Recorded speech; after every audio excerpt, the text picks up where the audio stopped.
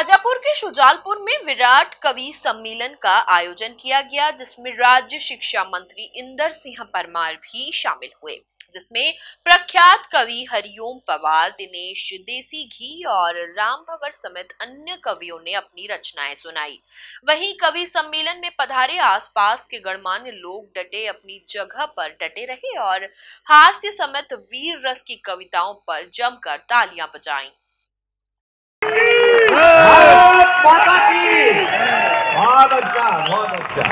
भी ठोक पाओगे क्या?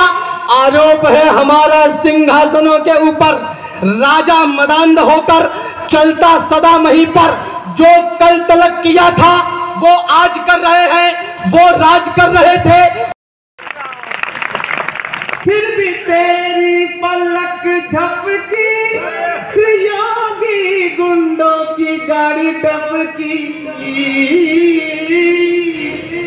ताली बजाओ वरना डांस करके दिखाऊंगा बैठी है घायल धरती मां अंबर से पीड़ा कहने बैठी है उर्वैया बम बंदूकों का जहर उगलते देखी है विस्फोटों की गर्म हवा से नदी उबलते देखी है नदी समंदर घाटी पर्वत झरने सब पे नूर मिले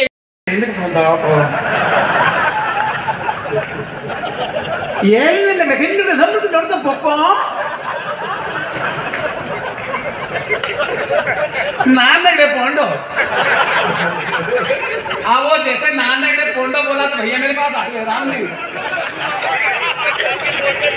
मेरे पास आके बोला, मैंने क्या मशीन बंद करने का उसको बोल दिया? बोला हाँ बोल दिया। मैं क्या बोला वो? जो नान नगड़े पोंडो।